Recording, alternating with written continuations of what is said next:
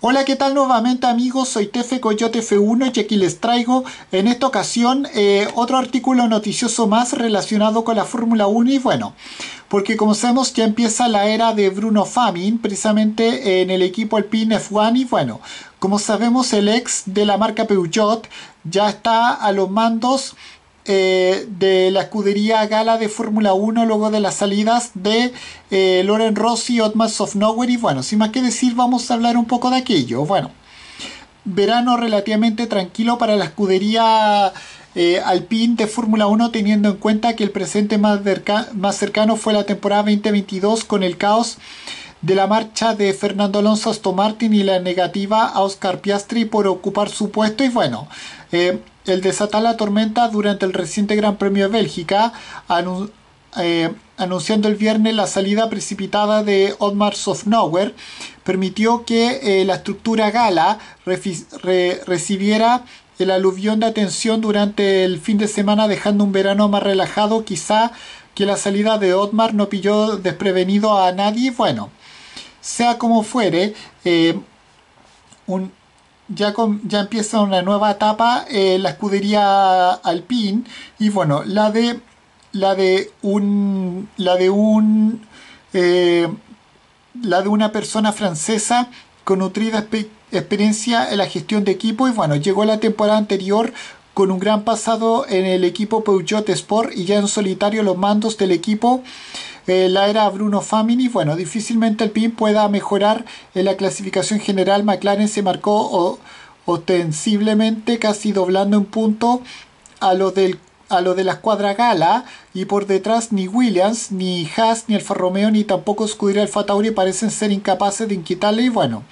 por lo que únicamente queda cambiar la dinámica de trabajo y proyectar eh, una imagen distinta de, de, puerta hacia afuera y bueno, porque desde luego el plan de Alpine en el que cada temporada se iba a ir creciendo para terminar luchando por triunfo sufrió un duro retroceso en este año 2023 y bueno,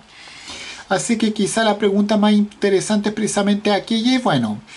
¿A qué aspira, a qué aspira eh, la, escudería Alpine en lo que resta de la actual temporada? Bueno, lo tiene claro el mismísimo Famini. Bueno,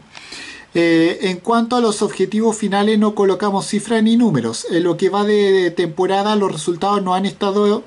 en línea con la expectativa y tenemos que encontrar soluciones para arreglar rápidamente nuestro nivel de rendimiento. La única inmediata expectativa es que todos los involucrados en el equipo sigan trabajando duro en todas las áreas. Eh, eh, no, nos quedan 10 carreras para cambiar las cosas y tengo plena confianza en que, eh, que todos los miembros del equipo lo hagan todo para lograrlo. Eso aseguró el mimísimo francés. Bueno, eh, Famin es consciente de que la motivación dentro de, del, del conjunto galo no pasa por su mejor momento, por lo que eh, pide al equipo recordar el podio eh, del, francés Esteban Ocon en el reciente Gran Premio Mónaco o la tercera plaza eh, de Pierre Gasly en la, en, la reciente competencia sprint de Bélgica como muestra lo que se puede lograr y bueno, claramente las semanas previas al parón no fueron fáciles para el equipo. Ahora es importante que mantengamos eh, la cabeza baja, trabajemos duro para mejorar todas las áreas y apuntemos a que nuestros resultados estén encaminados con, nuestras ambiciones. No hay ningún equipo eh, en la estrategia ni en los objetivos del equipo.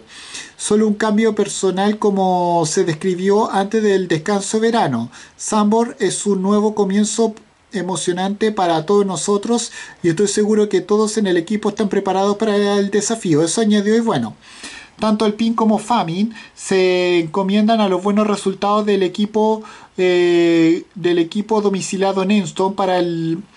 para el siguiente evento que será el Gran Premio de Sambor eh, como gran alicente para este fin de semana, pero nuevamente evitando acotar cualquier objetivo más allá de la ambigua buena actuación y bueno, y con esto me despido, adiós, me fuera, chao.